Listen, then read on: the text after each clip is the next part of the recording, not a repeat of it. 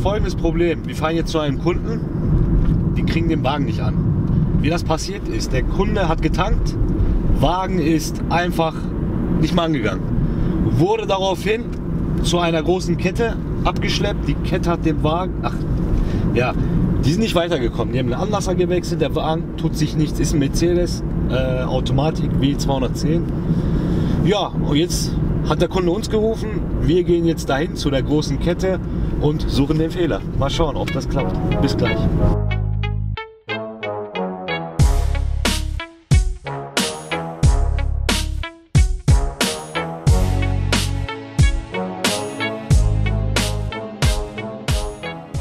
Was das Auto jetzt genau macht, folgendes: Zündung an und dann macht er ganz kurz dieses Geräusch.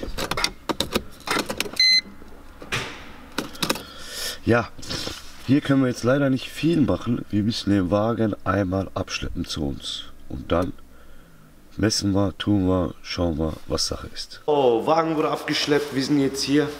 Und ja, wir werden den jetzt einmal messen. Ich werde erstmal schauen, weil ähm, die Kette, die hat auf jeden Fall den Anlasser neu gemacht. Und der Fehler war genauso wie vorher. Und ich weiß, bei den Autos gibt es ein, zwei Probleme, da kommen wir aber später äh, da schauen wir uns den auf jeden Fall an, was das ist. Äh, ich habe den Anlass auf jeden Fall gestern schon gemessen. Einmal gemessen, ich habe geguckt, da kommt nicht genug Strom und wenn, ist das sofort wieder eingebrochen. Also stimmt irgendwas nicht mit dem Relais. Da kommen wir aber später dazu. Und ja, wir haben den abgeschleppt jetzt hierhin und dann schauen wir mal, ob wir den Fehler ganz schnell beheben.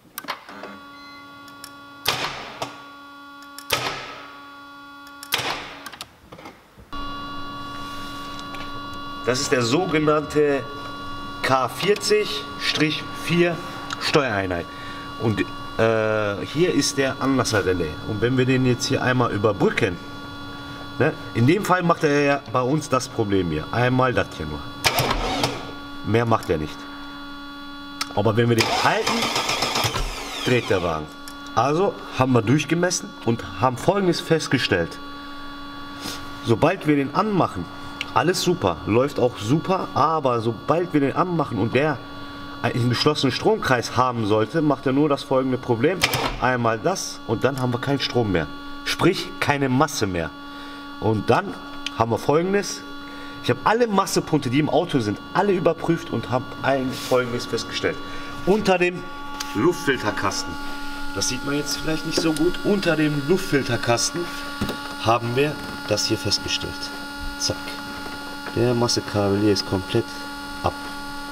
Online. Wir sind noch online. Ja. Also, wir haben uns jetzt gewechselt. K40-4. Dann haben wir gemacht. Einmal hier hin. Moment. Äh, Licht, Licht, Licht. Licht. Wir Licht. 2000 Jahre später.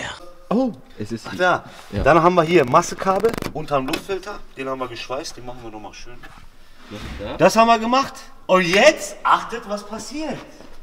Achtet. Ey, hast du das eigentlich aufgenommen gehabt? Ja. Yeah. So, Moment, aufpassen, Tür zu machen.